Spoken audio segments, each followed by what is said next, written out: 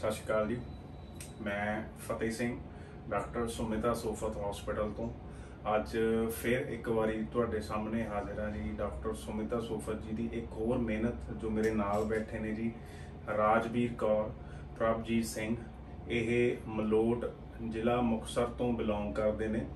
ਇਹਨਾਂ ਦੇ ਵਿਆਹ ਨੂੰ ਜੀ 20 ਤੋਂ 21 ਸਾਲ ਦਾ ਸਮਾਂ ਹੋ ਗਿਆ ਸੀ।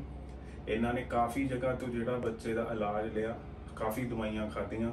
ਕਾਫੀ ਵੱਡੇ ਵੱਡੇ ਹਸਪੀਟਲਸ ਦੇ ਵਿੱਚ ਗਏ, ਜਿੱਥੇ ਕਾਫੀ ਡਾਕਟਰਾਂ ਤੋਂ ਇਹਨਾਂ ਨੇ ਕੰਸਲਟ ਕਰਕੇ ਇਲਾਜ ਵੀ ਲਿਆ। ਕਾਫੀ ਪੈਸੇ ਲਗਾਉਣ ਤੋਂ ਬਾਅਦ ਵੀ ਇਹਨਾਂ ਦੇ ਹੱਥ ਉੱਥੋਂ ਨਿਰਾਸ਼ਾ ਹੀ ਲੱਗੀ।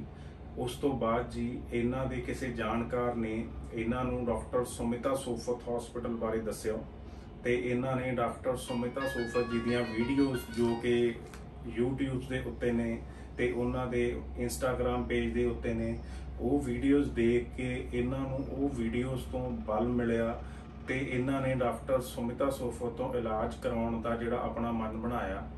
ਉਸ ਤੋਂ ਬਾਅਦ ਜੀ ਇਹਨਾਂ ਨੇ ਅਪਾਇੰਟਮੈਂਟ ਲੈ ਕੇ ਡਾਕਟਰ ਸੁਮਿਤਾ ਸੋਫਤ ਜੀ ਨੂੰ ਮਿਲ ਕੇ ਆਪਣਾ ਇਲਾਜ ਸ਼ੁਰੂ ਕੀਤਾ ਤੇ ਡਾਕਟਰ ਸੁਮਿਤਾ ਜੀ ਨੇ ਇਹਨਾਂ ਦੇ ਲੋੜੀਂਦੇ ਟੈਸਟ ਜਿਹੜੇ ਸੀਗੇ ਉਹ ਕਰਕੇ ਇਹਨਾਂ ਨੂੰ ਇੱਕ ਸੀ ਟ੍ਰੀਟਮੈਂਟ ਦੇ ਲਈ ਗਾਈਡ ਕੀਤਾ।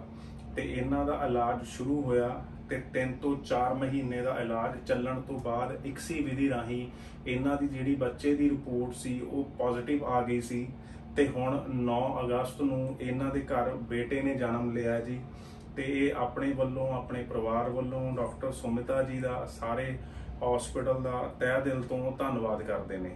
ਤੇ ਅੱਗੇ ਹੋਰ ਵੀ ਪੇਸ਼ੈਂਟਾਂ ਨੂੰ ਇਹੀ ਪ੍ਰੇਰਿਤ ਕਰਦੇ ਨੇ ਕਿ ਨਿਰਾਸ਼ ਹੋ ਕੇ ਘਰ ਬੈਠਣ ਨਾਲੋਂ ਇੱਕ ਵਾਰੀ ਡਾਕਟਰ ਸੁਮਿਤਾ ਸੂਫਤ ਹਸਪੀਟਲ ਜ਼ਰੂਰ ਵਿਜ਼ਿਟ ਕਰੋ। ਧੰਨਵਾਦ ਜੀ।